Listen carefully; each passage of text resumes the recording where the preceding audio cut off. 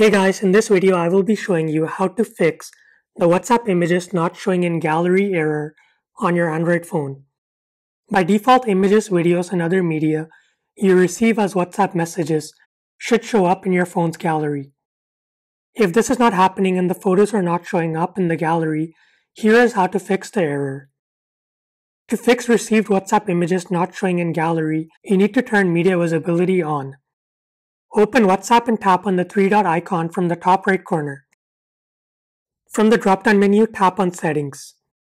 Now tap on the Chats option and on the next screen, turn on the Media Visibility option. Now go back to the main settings screen and tap on the Storage and Data option. By default, when you're using mobile data, only photos will be downloaded automatically onto your phone. If you also want videos, documents, and audio to be downloaded while you're on mobile data, tap on the When Using Mobile Data option and select the three settings and then tap on OK. Now make sure the When Connected to Wi-Fi option says All Media. If it does not say All Media, tap on it and select all the items. Now if you head on over to your phone's gallery, WhatsApp images should now be showing up there. If WhatsApp images are still not showing up in your phone's gallery, then I recommend you restart your phone to make sure the setting is applied.